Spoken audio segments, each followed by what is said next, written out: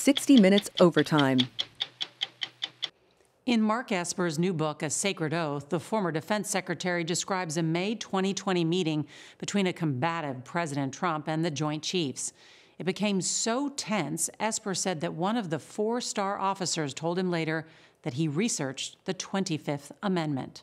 He said to me, You know, Mr. Secretary, I was so alarmed by the president's behavior. He was so unhinged that the next morning I got up after a sleepless night and started researching the 25th Amendment. It was a, a shocking revelation for me, too, As to a hear him the- say that. As a member of the Joint Chiefs of Staff, A member of the Joint Chiefs of Staff. Yeah. got up and was researching the 25th Amendment. Right, to give some context. There's a meeting planned for, I think it's May 9th, on a Saturday in the cabinet room. And the purpose is to talk about how we are planning and preparing and equipping to deal with China in the 21st century. And so the meeting begins a little bit late.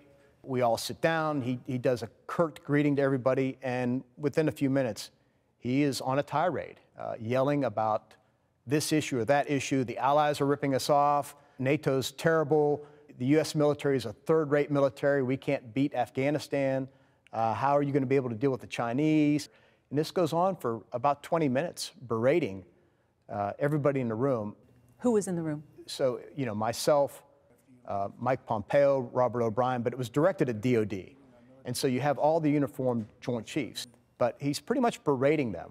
And so here are these men who had served their country for decades, who in combat, who sacrificed so much, are being berated by the commander in chief. And I just thought it was a terrible display. But you never thought that it warranted consideration of the 25th Amendment. At that time, no. I, you know, the, a, a lot of the president's behavior and actions and talk were alarming and disturbing, but I never thought it reached that threshold